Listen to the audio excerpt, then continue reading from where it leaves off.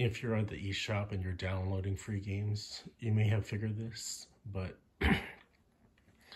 if you follow their UI, you'll be taken all the way to the very beginning, and you don't want that, especially if you're trying to download a few games. So I'll show you.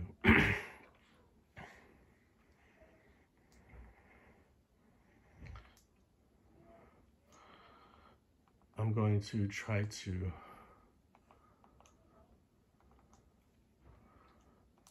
download a few free games. So here I am in the free games section. I did a filter for all free games. Once I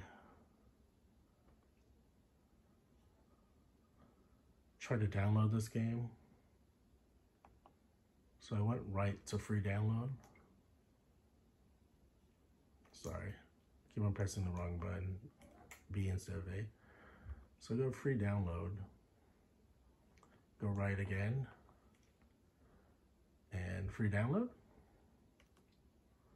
So the annoying thing here is don't go to continue shopping because that takes you to the very beginning of your shopping experience and don't press close because it'll close the eShop.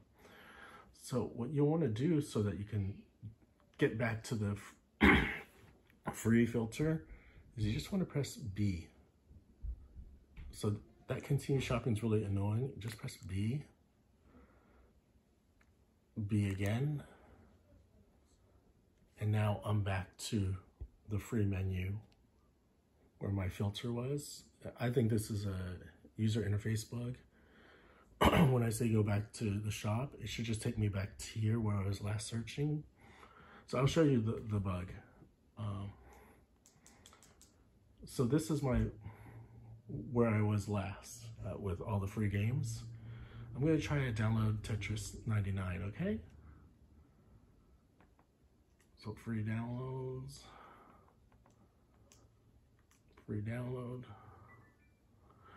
Now again, instead of doing using the B button to go back, back, back to where I was. Now, if I press A to go continue shopping, it doesn't take me back to the filter with free games.